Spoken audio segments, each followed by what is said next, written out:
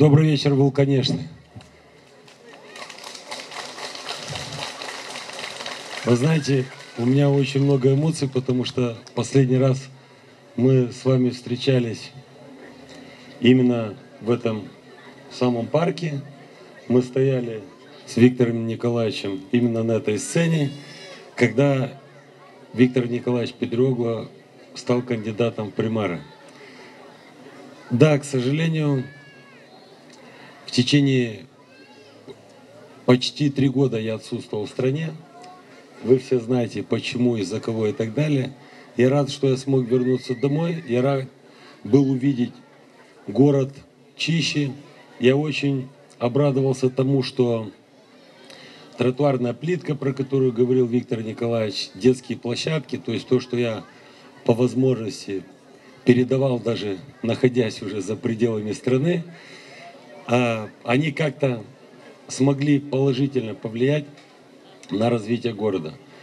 Я горжусь тем, что наша команда, команда примаров, каждый из них доказал в разных уголках Молдовы, на что он способен. Я хотел бы выразить Виктору Николаевичу благодарность за то, что он делает, потому что люди не должны страдать, правильно было сказано, от того, что примар от одной партии, другой и так далее. Хотя на это многие спекулировали. Вы знаете прекрасно, как прессовали меня и наших примаров, такого в истории страны не было. И очень надеюсь, что никогда не повторится. Я благодарю вас и за теплый прием, и за то, что все эти годы вы были рядом со своим мэром, потому что это человек, который вкладывал душу в развитие города. Что-то получалось лучше, что-то получалось хуже, но важно, что то, что обещал мне Виктор Николаевич в 2015 году, он будет делать каждый день что-то для того, чтобы идти вперед и никогда не останавливаться. Поэтому ему за это спасибо.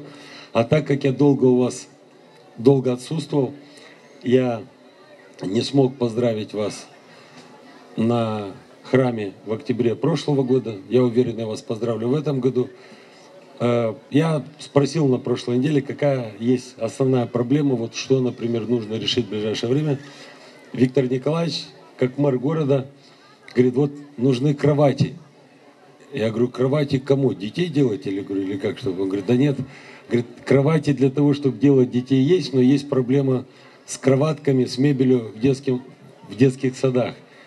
И скоро все возвращаются, школьники идут в школы, студенты в университеты.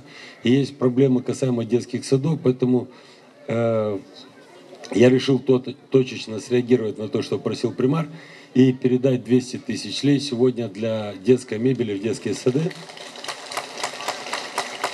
Для того, чтобы для того, чтобы знать, что есть частичка, это наши дети. А я очень рад тому, что я увидел сегодня парки, потому что присутствует очень много людей. И это, за это вам отдельный респект, Виктор Николаевич. И самое главное, я вижу очень много детей, детей разных возрастов. И плюс видел даже так молодых женщин, которые их планируют на ближайшее время. Вот. Поэтому я вас поздравляю с этой положительной тенденцией. Виктор Николаевич, Мебель я вам передам, остальное вы детям. Я вас люблю, Волконежный. Спасибо большое. Всего вам доброго. Мы будем вместе двигаться вперед. Все получится. До свидания. Э, я извиняюсь, но хотел при всех Хотел при всех выразить слова благодарности Ренату Георгиевичу за то, что мы сможем решить э, очень многие вопросы с финансами для наших э, детей. Поверьте, что мы создадим комиссию, которая изучит в каждом детском саду э, пропорционально, там, где больше детей получит больше мебели, там, где меньше получит меньше, но обязательно каждый детский сад э, будет, реша, э, будет решен вопрос с мебелью. Ренат Георгиевич, большое спасибо вам. Да.